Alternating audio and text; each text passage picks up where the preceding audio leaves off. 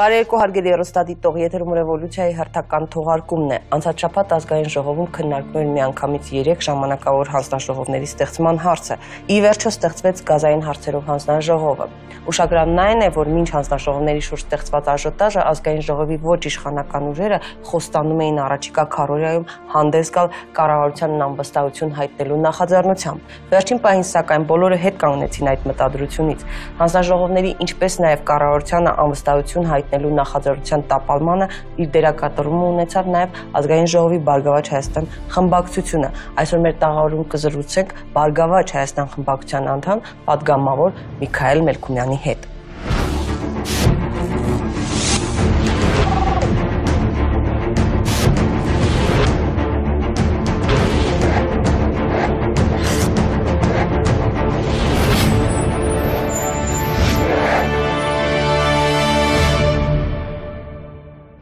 Միքայել Սերգեյ Մելքումյան Ծնվել է 1962 թվականի ապրիլի 1-ին Երևանում։ 1983-ից 85 թվականներին ծառայել է խորհրդային բանակում։ 1983 թվականին ավարտել է Երևանի Ժողովրդական տնտեսության ինստիտուտի պլանատնտեսագիտական ֆակուլտետը։ 1987 թվականին ավարտել է Երևանի Ժողովրդական տնտեսության ինստիտուտի ասպիրանտուրան եւ պաշտպանելով տեխնացուական ատենախոսությունը ստացել տնտեսագիտության տեխնացուի գիտական աստիճան։ 1994 թվականին 1997-ից 98 թվականներին վերապատրաստվել է Լիոնի առևտրաարդյունաբերական պալատում եւ Փարիզ 12 համալսարանում։ 1998 թվականին պաշտպանել է դոկտորական ատենախոսություն եւ ստացել տնտեսագիտության դոկտորի գիտական աստիճան։ 2000 թվականին ստացել է պրոֆեսորի գիտական կոչում։ Տնտեսագիտության դոկտոր պրոֆեսորը։ 1987-ից 90 թվականներին ԵԺՏԻ-ում աշխատել է արդյունաբերության էկոնոմիկայի ամբիոնի դասախոս։ 1987-ից 90 թվականներին Հայաստանի Հանրապետության պետմատի բաժնի վարիչ։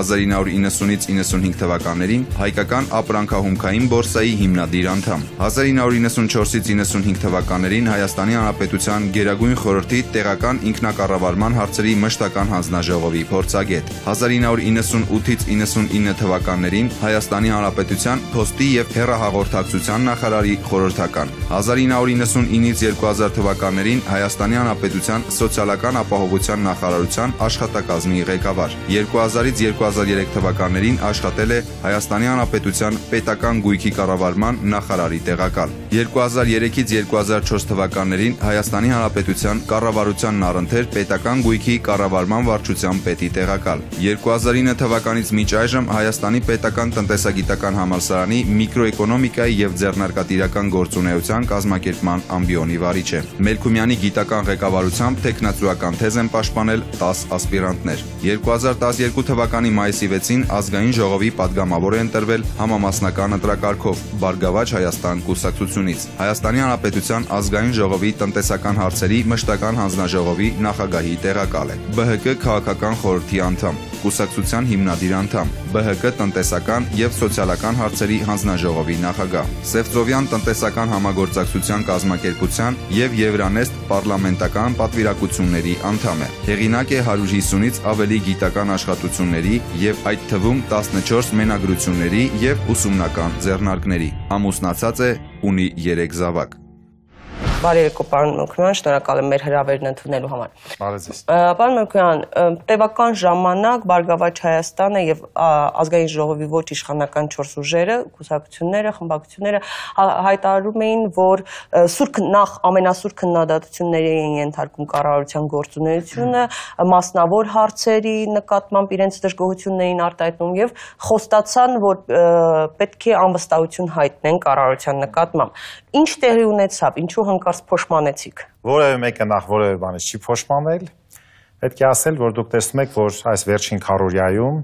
ուրեմն իսկապես դուք ճիշտ նշեցիք, քննարկվեց 3 հանձնաժողովների ստեղծման ուրեմն գործընթացը գազային մարտի 1-ի եւ իհարկե նայրիտի հարցով եւ այս կൂട്ടակված գործընթացների շրջանակում նորից դնել այս պահին կառավարության անվստահության հարցը զուտ տակտիկական խնդիր է։ Բարգավաճ Հայաստանի քաղաքական օրակարգում այդ հարցը կա եւ քիչ հետո եթե առիթ լինի, ես կբացատրեմ թե ինչու կա։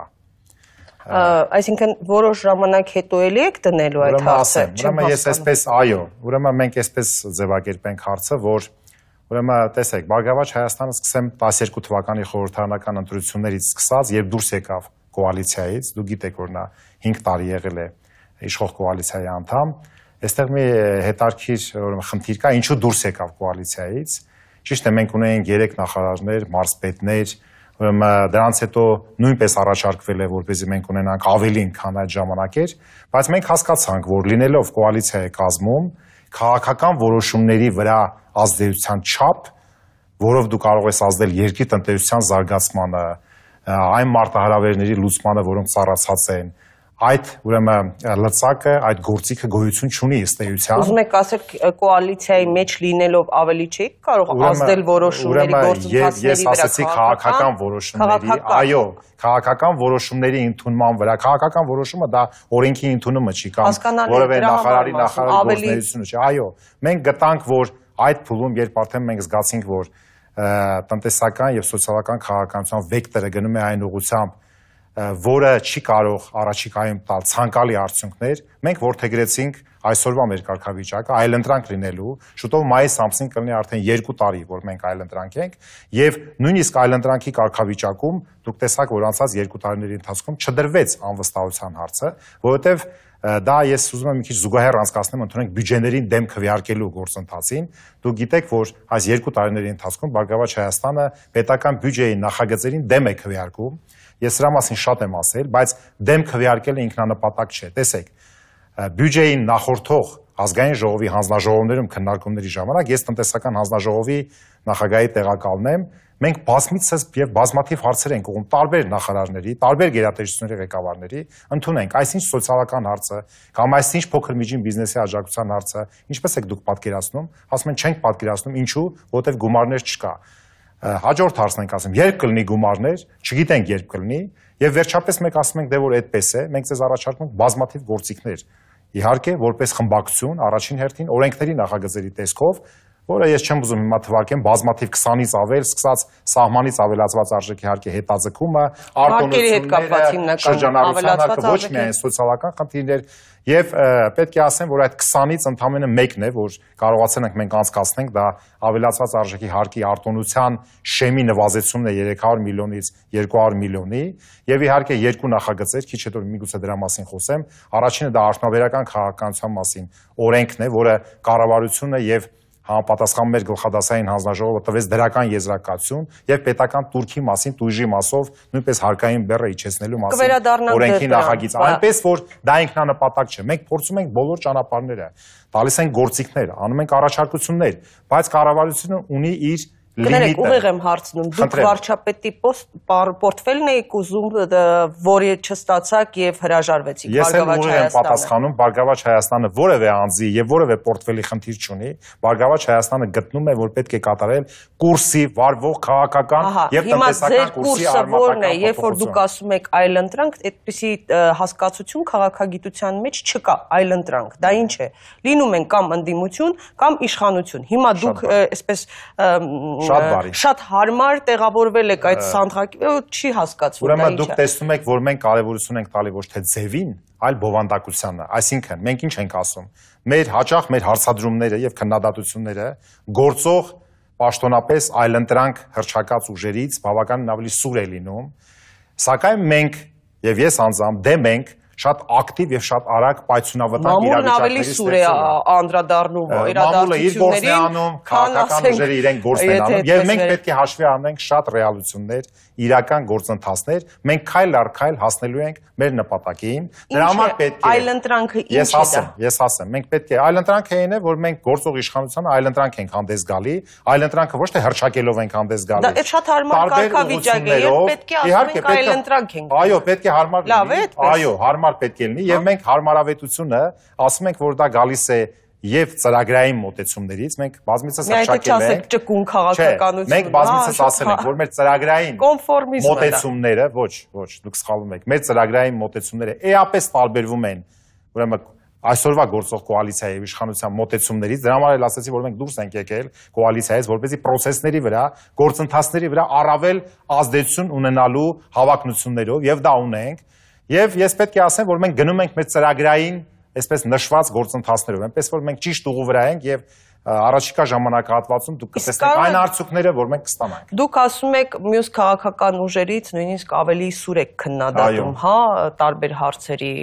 կառավարության գործունեությանը, հատկապես կառավարության գործունեությանը։ Ինչպես է ստացվում ձեր համագործակցությունը, օրինակ, Հայ ազգային կոնգրեսի հետ, այն դեպքում, երբ որ Հայ ազգային կոնգրեսը ասում է, երկրում որևէ բան հնարավոր չէ փոխել, քանի դեռ այս իշխանություններն են կառավարում, եւ դուք ասում եք, որ ընդդիմություն չեն պատրաստվում դառնալ, թեև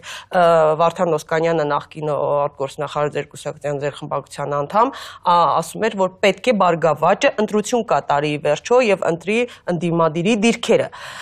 Հիմա կարող եք ասել, ինչպես է համագործակցում։ Նրանք ավելի սուր են եւ ասում են կառավարության անվստահությունը շատ քիչ է։ Դուք ասում եք, Այո, ուրեմն հենց մեր իշխանապողություն դուք չեք հենց մեր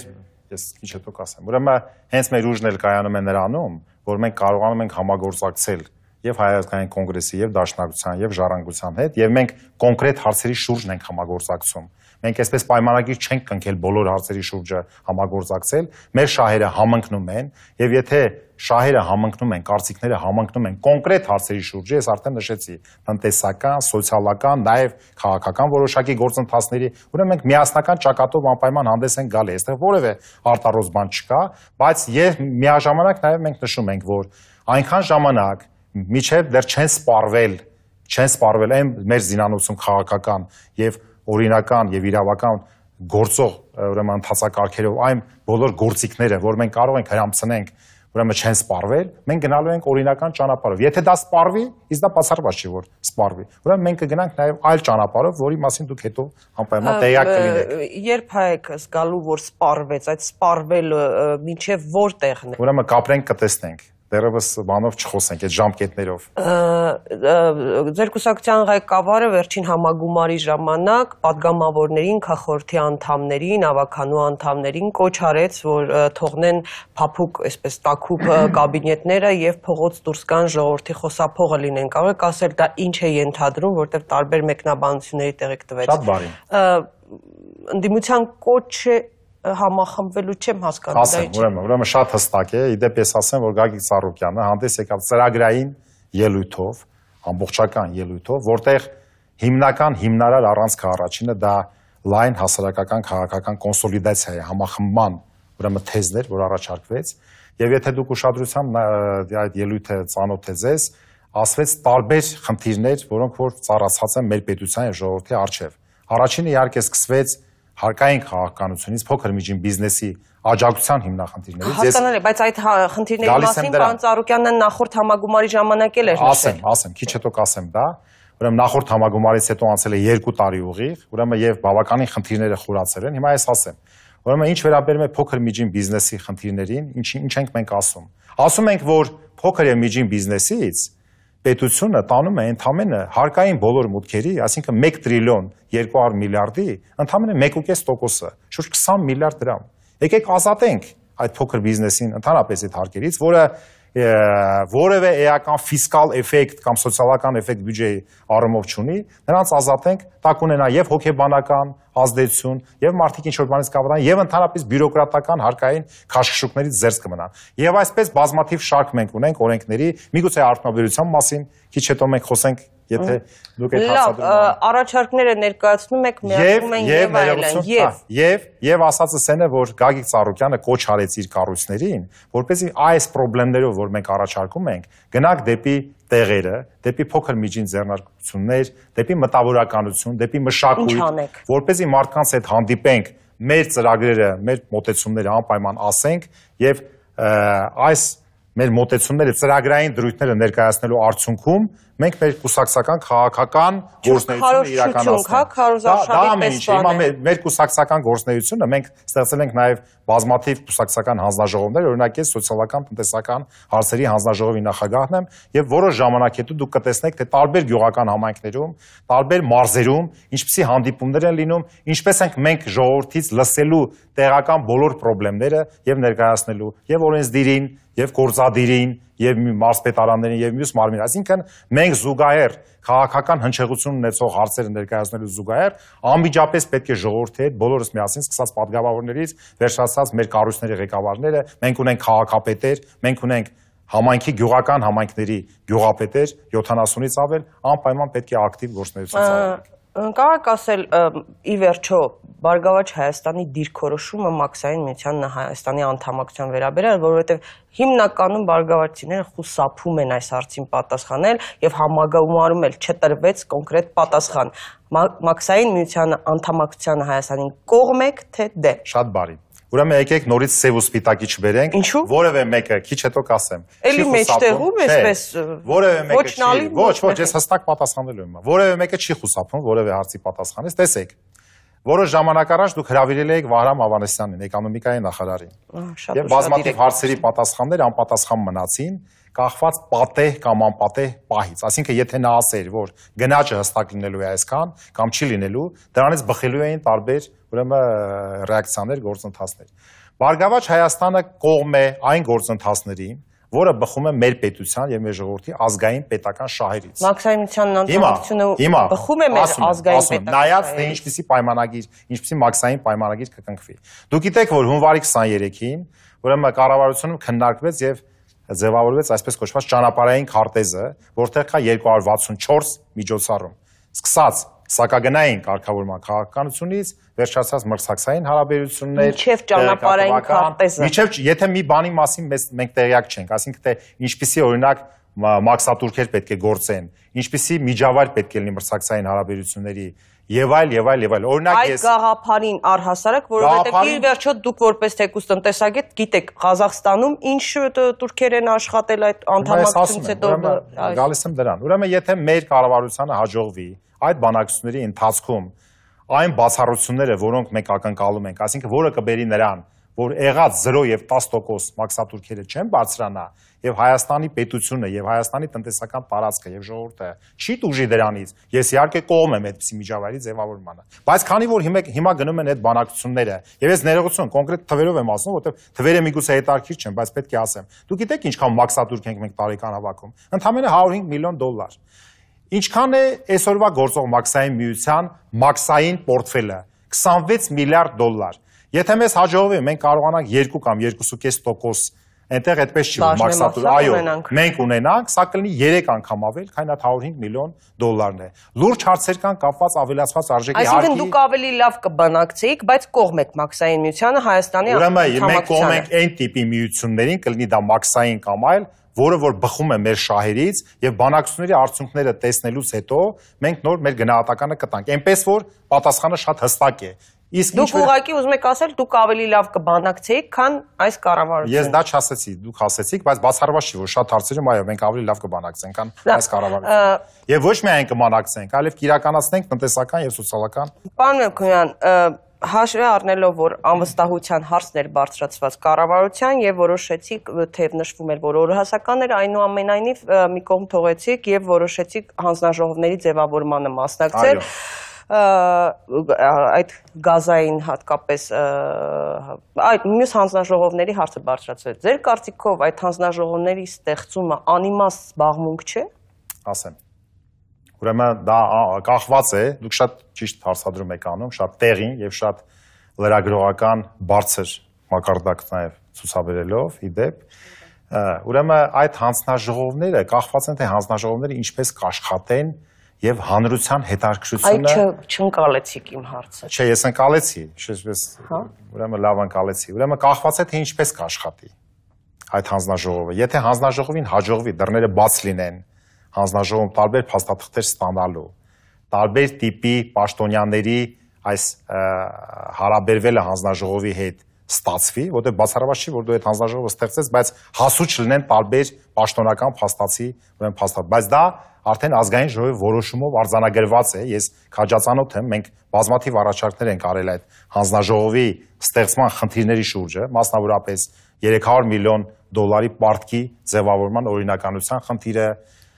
կալորիականության խնդիրը Մասնավորեցնեմ հարցը, Խնդրեմ։ Սպարոն Հակոբյան, իսկապես սխալ ընկալվեց։ Այսինքն անիմաստ այն իմաստով, երբ որ քննարկումներ տեղի ունենան այդ հանձնաժողովում, ի վերջո parzվեն այդ 300 միլիոն պարտքը ինչպես է կուտակվել եւ այլ այլ այլ հանգամանքներ parzվեն։ Ա, Ազգային ժողովը կարող է հետ կանչել որոշումը այն դեպքում, երբ որ արդեն Ռուսաստանի նախագահի կողմից վավերացվել են այդ համաձայնագրերը։ Այդ իմաստով անիմաստ զբաղմունք է դառնում։ Ես դա նկատի ունեմ։ Դուք եմ հասկանալ ուրեմն ինչ է ես լավ եմ ընկալեցի, ուրեմն ես հենց ճիշտ ընկալել էի, դուք ինչ եք ասում։ Ուրեմն երկու մասի ենք բաժանում այս հաստատումը։ Մեկ, անցած գործընթացների գնահատական, մասնագիտական եւ քաղաքական։ Ազգային ժողովի հանձնաժողովի խնդիրը, որը պետք է հիմնված լինի մասնագիտական վերլուծությունների եւ գնահատականների վրա, հետո ինքը պետք է քաղաքական գնահատական տա։ Ընդունենք այդ պարտքը որևէ իրավական գործընթացի մեջ տեղավորվում էր, որ դու բանակցես, հետո հետին թվով այդ պարտքը ձևավորվի։ Սա մեկ։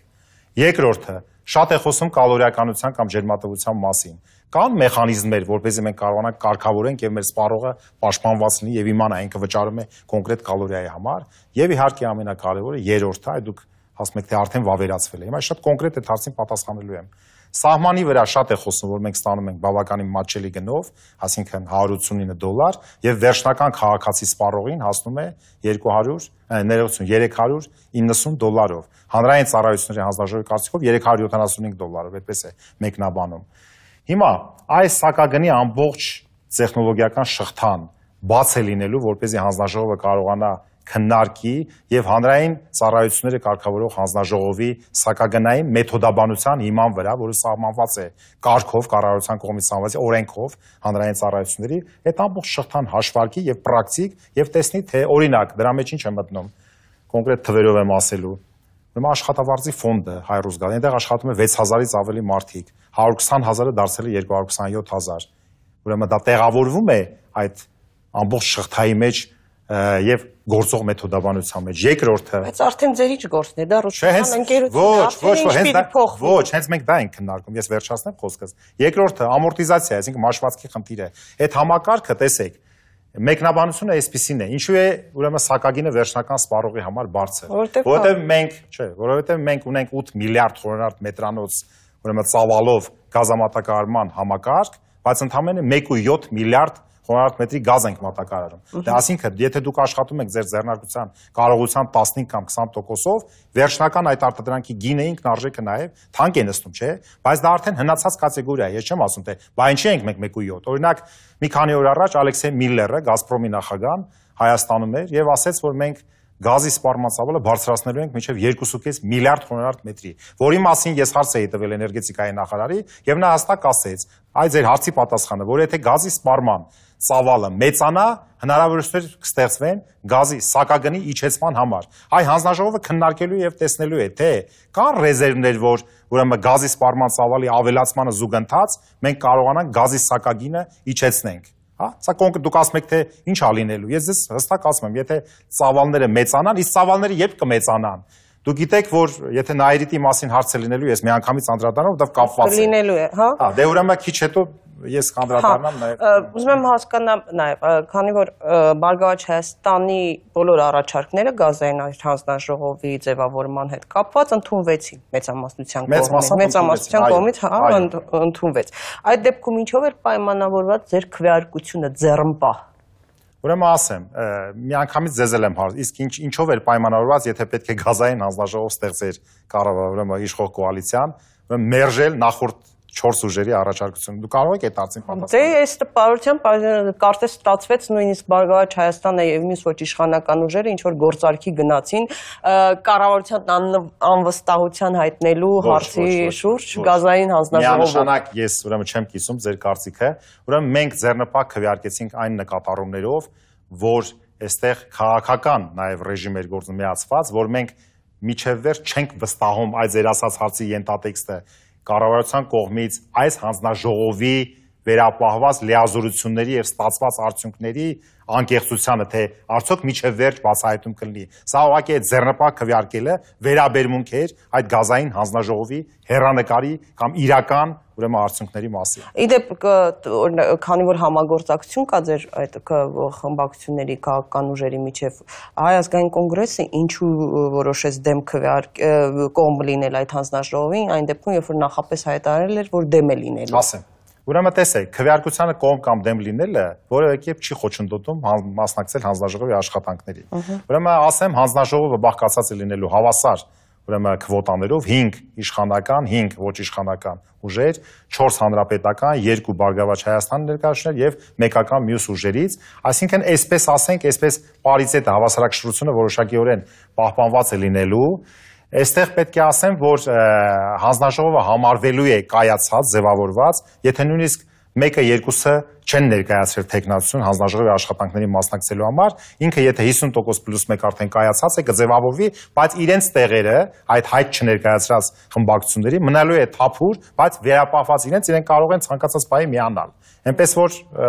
քվեարկությունը եւ մասնակցությունը հանձնաժողովների որևէ կերպ առանձնապես կապ չունեն։ Այս օրերին նաեւ քննարկվում էր 2008 թվականի մարտի 1-ի հանձնաժողովի հա դեպքերի ուսումնասիրող հանձնաժողովի ստեղծման հարցը, որին իդեպ ձեր խմբակցությունը կողմ էր եւ ակտիվ մասնակցում էր քննարկումներին։ Ձեր կարծիքով նման հանձնաժողովների ձևավորմանը մասնակցելով Բարգավաճ Հայաստանը կարող է ռեաբիլիտացվել մարտի 1-ի հետ առնչությունից, ինչու ժամանակին իդեպ մեղադրում էին հենց Հայ ազգային կոնգրեսի ձեր գործընկեր ներկայացուցիչները։ Շատ բարի։ Ուրեմն ես պետք է ասեմ, որ հանձնաժողովի ստեղծման հետ կապված քվեարկությունը ինքը կմնա հաջորդ քարորիային։ Չհասցրեցին։ Եթե դուք ուշադրություն եք դարձրել, ուրեմն բոլոր այս կարծեմ 19 ելույթ էր, ուրեմն մարտի 1-ի հանձնաժողովի հետ կապված, որևէ կերպ որևէ մեկը ուրեմն Բարգավաճ Հայաստանի ուղությամբ որևէ ռեպլիկ նույնիսկ չի եղել ըստ էության։ Այսօրերին չի եղել բնականաբար։ Ես վերջացնեմ խոսքս։ Եվ ես պետք է ասեմ, որ ուրեմն այս պահին ես մեկ միայն մեկ բան կարող եմ ասել, որ մենք կողմ ենք, այո, որպեսզի այդ հանձնաժողովը ստեղծվի, ես ցավում եմ իհարկե որ ուրեմն իհարկե մեր պետությանը ոչ հարիր է ոչ էլ որևէ թեկուզ մեկ մարդու մեր հայ քաղաքացու զո որևէ կերպ չի կարող արդարացվել այս առումով բայց մենք պետք է ասենք, որ մարտի 1-ի հետ կապված ուրեմն մենք բաց ենք, པարզ ճակատով ենք, որևէ խնդիր չկա։ Ես ինքս հստակ ասում եմ, որ Բարգավաճ Հայաստան կուսակցությունը որևէ կերպ, որևէ ձևով մարտի 1-ի հետ կապված իր այսպես կոչված այդ գործընթացներին մասնակցությունը չի ունեցել, դա հստակ է, եւ թե ինչ է եղել անցյալում, ես չեմ ուզում այսօր մեկնաբանեմ, որ գործիչներ ինչպիսի մեկնաբանություն են տալի։ Մենք խոսում ենք այսօրվա ներկայի մասին։ Ես նկատի ունեմ, հիշում եք դուք բոլորը, մինչև Տեր-Պետրոսյանի քաղաքագիտական վերլուծությունը ինչպիսի մեղադրանքներ էին։ Ես պետք է հստակ ասեմ, որ նորից եմ պնդում, որ մենք པարզ ճակատով ենք եւ այսօրվա մեր 4 ուժերի հենց համագործակցության ձևաչափը մեկ անգամ եւս խոսում է եւ խոսուն է այն փաստ հաստատում այն փաստը, որ մենք որևէ խնդիր նաև անցյալի հետ կապված չունենք։ Պարոն Մոկումյան, վերջերս Ռուսաստանի Դաշնության առաջին կարգի պետական խորհրդական ռեքս գործակալության ղեկավար քաղաքական վերլուծաբան Մոդեստ Կոլերովը հայտարարել էր, որ Ռուսաստանը աշխատում է իշխող կուսակցության Բարգավաճ Հայաստանի ու ՀԱԿ-ի հետ, նաև օրինաց երկիր կուսակցության հետ։ Կարող ասել, ինչպես է աշխատում, ինչպես են այդ աշխատանքները տարվում։ Ներողություն, ովքեր են աշխատում։ Ռուսաստանը աշխատում է իշխող կուսակցության, հանրապետական կուսակցության, Բարգավաճ Հայաստանի ու Հայազգային կոնգրեսի հետ, այնուհետև նշել է նաև, որ աշխատում են Արտուր Բաղդասարյանի Ադրբեջանի եւ օրինաց երկրի հետ։ Ну ես ճիշտ ասած չեմ կարող մեկնաբանել թե ինչ ես աշխատել ասելով ինչի նկա։ Մենք տարբեր մեր ասենք Գիծինը Ռասիայի հետ խնդիրը զրույցը այն կոնտեքստում էր որ արդյոք հնարավոր են ուկրաինական դեպքերը դեպքերի կրկնություն Հայաստանում եւ նա բացատրել էր որ աշխատանքներ են տարվում այնպես որ ընդդիմություն չկա ընդդիմադիր խորհրդարան չկա եւ այլն եւ այդ իմաստով հայրիս չեմ այդ հարցադրումը զերծ կմնա որովհետեւ մի տեղեկատվություն չունեմ թե ինչ է դա նշանակում Ուկրաինայի հետ կապված կարող ենք մենք որոշակի հարցադրումներ անել։ Ես պետք է ասեմ, որ ուրեմն Հայաստանում ես առաջիկա ժամանակահատվածում որևէ բան ոչ ուզում եմ բացառեմ, ոչ էլ հիմնավորեմ, բայց իհարկե նախադրյալները ուկրաինական սցենարի Հայաստանում ես չեմ տեսնում առանձնապես։ Իսկ ինչ վերաբերվում է Ուկրաինայի հետ կապված, ես մասնատմանը իհարկե չեմ հավատում, որովհետև աշխարհի գերտերություններին եւ նրա շրջակա հարևաններին բացառապես ուրեմն մասնատված Ուկրաինան ուրեմն չի հետարկրում, բայց ես կարծում եմ, որ մենք անցնենք մեր հանրապետության խնդիրներին եւ զերծ մնանք հետագա մեկնաբանությունների ժամանակը ցույց կտա։ Ազգային ժողովը մերժեց նաեւ Նայիրիտ գործանի շուրջ ստեղծված իրավիճակը ստեղծող ուսումնասիրող ժամանակավոր հանձնաժողովի ստեղծումը վարչապետ Տիգրան Սարգսյանը դա բացատրեց քաղաքական հնարավոր շահարկումներով եւ քանի դեռ Ռոսնեֆտի հետ բանակցություններ են ընթանում Նայիրիտի ձեռքբերման շուրջ պետք է այժմ չստեղծել, հետագայում իշխանությունն ինքը կստեղծի։ Ինչ է կարծում, արդյոք սա քայլ չէ իշխանության կողմից ոչ իշխանական ուժերի բոլոր նախաձեռնությունները վերցնելու։ Շատ բարի, ուրեմն շատ լավ հարց էր։ Ուրեմն ես այդպես չեմ մտածում, հենց հիմա կարելի է ուրեմն ձևավորել այդ հանձնաժողովը, դա որևէ կերպ ուրեմն Ռոսնեֆտի հետ բանակցություններին չէր կարող խանգարել, որովհետև Ռոսնեֆտը այդ բանակցությունները վարում է բավականին երկար ժամանակ։ Բայց որպեսզի մենք այս հարցը ավելի համակողմանի ներկայացնենք, ես դրա մասին մի քիչ ավելի երկար պետք է խոսեմ, թե Նայրիտը ինչ է մենք հաճախ չենք պատկերացնում Նայրիտը իրենից ինչ է ներկայացնում։ Նայրիտը այն հզորագույն ձեռնարկությունն է Հայաստանի արտադրության, որի աշխատանքով պայմանավորված էր եւս 250 ձեռնարկությունների աշխատանք։ Պոլիվինիլացետատ, քիմռեակտիվ եւ այլ եւ այլ եւ այլն, Երևանի ջերմաէլեկտրակենտրոն եւ այլն։ Եվ իհարկե Նայրիտը սրա մասին անպայման պետք է ասեմ 1986 թվականին տեխնոլոգիական փոփոխության ենթարկվեց եւ հին կալբիտ կարծումի հիման վրա գազի հիման վրա այսպես կոչված ացետիլենային կաուչուկի արտադրությունը փոխարինվեց բուտադենային կաուչուկի։ Հետո դուք գիտեք որ 88 թվականին Նայրիտը կանգնեց եւ վերագործարկվեց ընդամենը 94 թվականին Միջև 88 թվականը Նայրիտի հզորությունը տարեկան միջև 75000 տոննա էր ուրեմն սինթետիկ կաուչուկի ուրեմն արտադրության 94 թվականին հաշվի առնելով խնդիրները եւ ներդրումների սահմանափակ լինելը, ընդամենը 10000 տոննա կարողությամբ արտադրական կարողություններ գործարկվեցին եւ հետ վերադարձան այսպես կոչված ացետիլենային կաուչուկի արտադրության, այսինքն հին տեխնոլոգիային, որը հիմնված էր գազի վրա։ Ահա։ Ես չեմ ուզում 90-ականների մասին խոսեմ եւ այլ եւ այլն, եւ վերջապես 2006 թվականին Նայրիտ Ուրեմն Նայրիտը ինքը վերակազմակերպվել է այդ ընթացքում։ Նայրիտ 1, Նայրիտ 2, Նայրիտ գործարան ՓԲ, Նայրիտի կազմում էր վնի պոլիմեր գիտահետազոտական ինստիտուտը, որ ինքը գիտաարտադրական միավորում էր, որը ուրեմն կիրառական ուրեմն մասն էր ապահովում գիտական ներդրումների եւ այսօր Նայրիտում աշխատում է 2460 աշխատող հաստիկացուցակում, բայց մշտական աշխատանքի է 670-ը։ Ամսեկան 1 միլիոն դոլար աշխատավարձի պարտք է կուտակվում։ Տեսեք, պետությունը չի գնացել նրան, որպեսզի աշխատատեղերը փակվի, ինքը հաստիկացուցակով պահպանում է,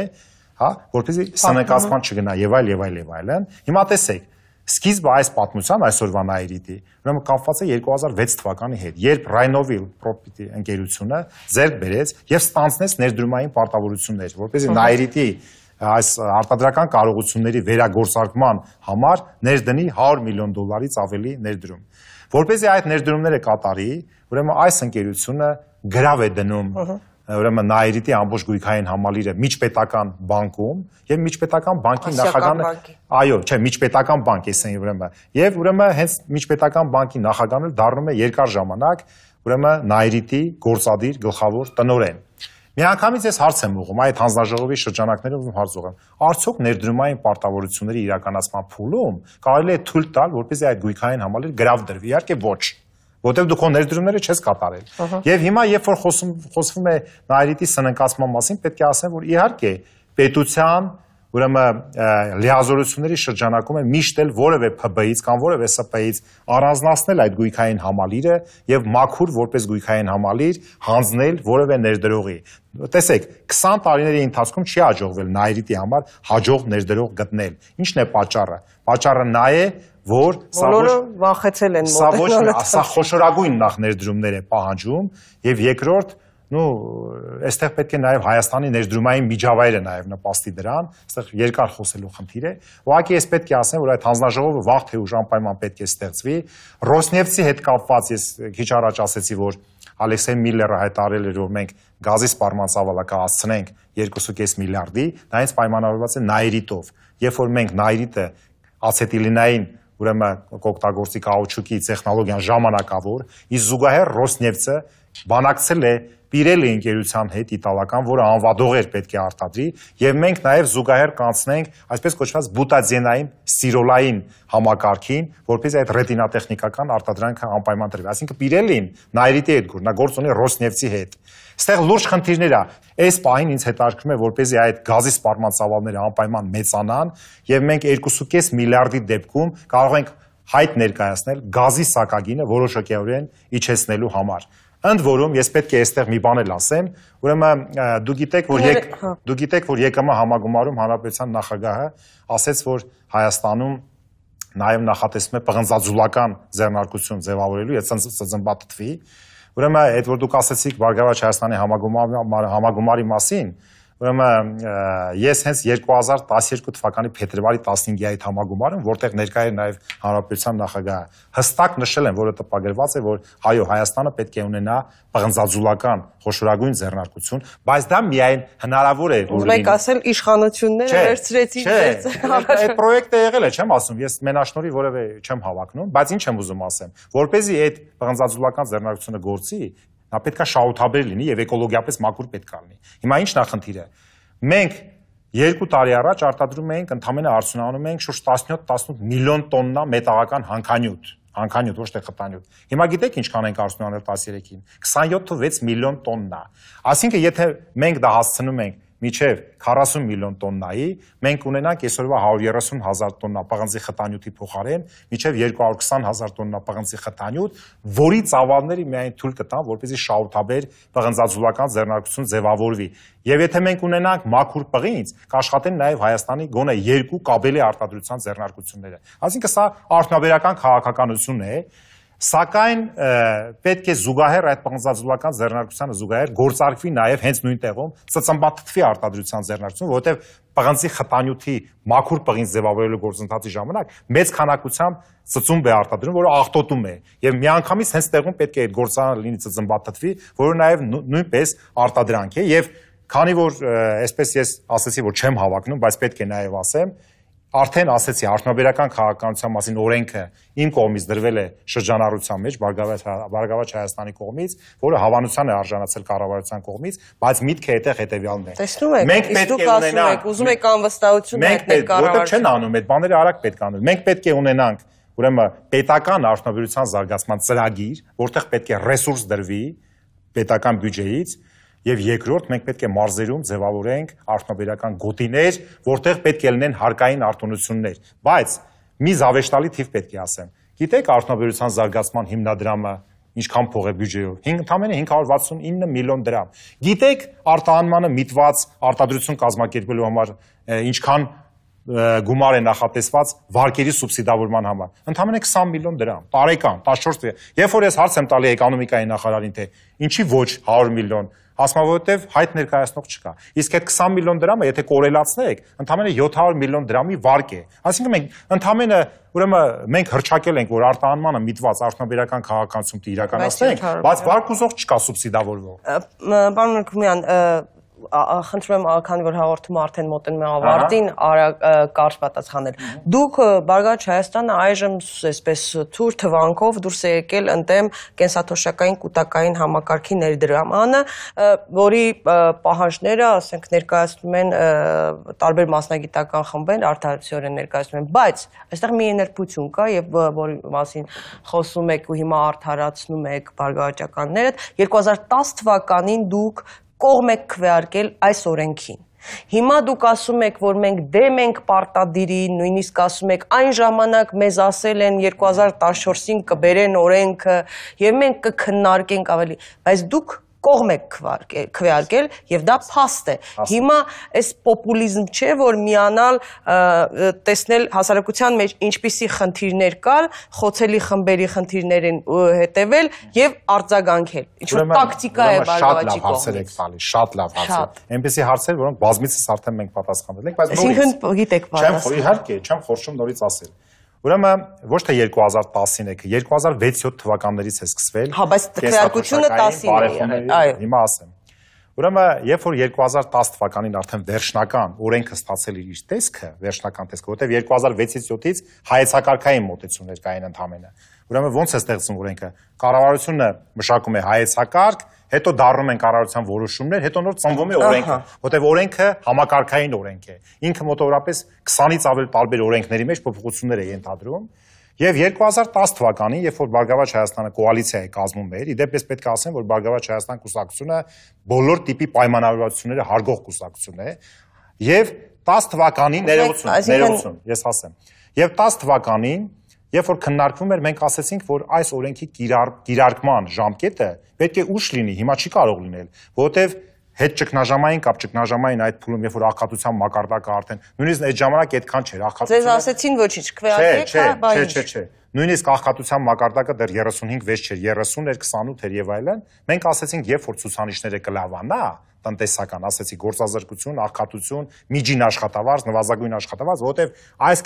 կենսաթոշակային բարեփոխումների արդյունավետությունը կախված է այդ իմ նշած ցուցանիշների մակարդակով եւ ժողովրդի ռեալ կենսամակարդակով։ Դրա համար ասեցին, ուրեմն կիրառումը 14 թվականի հունվարի 1-ից Այ մենք պայմանով ենք ասել, որ միջև եթե միջև 14 թվականը այս ցուցանիշները չլավանան, իսկ ներողություն դուք ասում եք ինքը շատ լավ գաղափար է, շատ լավ համակարգ է, ամեն ինչ Բայց հիմա չէ։ Հիմա պատեհ պաչի։ Պետք է լինի այն ժամանակ, երբ որ արդեն կենսամակարդակը եւ աղքատության մակարդակը էապես ցածր կլինեն, եւ այս առումով ես պետք է մի այստեղ հետարքիր մի բան ասեմ, որ հենց այդ ցուցանի ուրեմն հնգամյա ծրագիր կա կառավարության, չէ՞, ամեն մի ընտրությունից հետո հանրապետության նախագահը եւ կառավարությունը խորհրդը հնգամյա ծրագիր է ներկայացնում։ Ուրեմն տեսեք,